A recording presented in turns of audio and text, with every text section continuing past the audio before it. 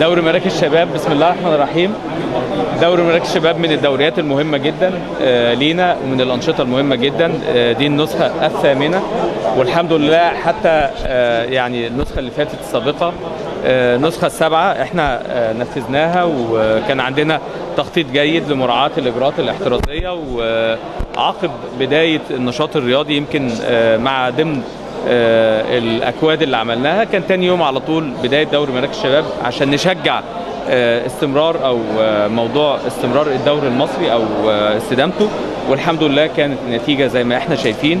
النهارده النسخة الثامنه آه، مشاركة آه، يعني كل أو معظم مراكز شباب مصر.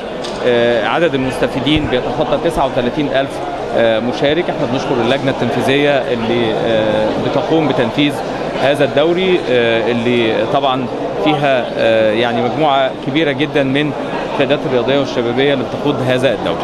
معالي الوزير لو قلنا أهمية البعد الاقتصادي لدوري مراكز الشباب آه، بعد اقتصادي مهم جدا لأن اولا آه، في فرق بتتكون داخل مراكز الشباب بيكون ليها مدربين وأجهزة داخل مراكز الشباب للمشاركة في الدوري ثانيا إحنا حجم الدعم المالي لهذا المركز بتكلفته بنخصص له مخصصات مش قليلة آه، كمان حتى آه، العوامل التحفيزية إن النقطة في توقيت معين بتكون بمبلغ مالي الفريق الفايز بياخد مبلغ مالي بيجمع تراكمي لغاية الفرق اللي بتفوز بالدوري فبالتالي آه، بيشكل جزء من الدخل ودعم الجانب الرياضي بالإضافة إلى إن الفرق تبدأ تجيب وتنقي لاعبين ما كانش حد واخد باله أو شايفهم بالإضافة إلى وجود طبعا لجنة التحكيم في الاتحاد المصري اللي بنشكره على التعاون المستمر.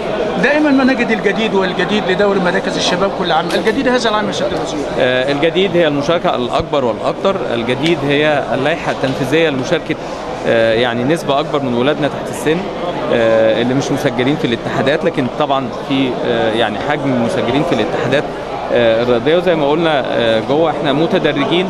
هنوصل في نسخ إن شاء الله يكون كل اللي موجودين هي أوجه جديدة.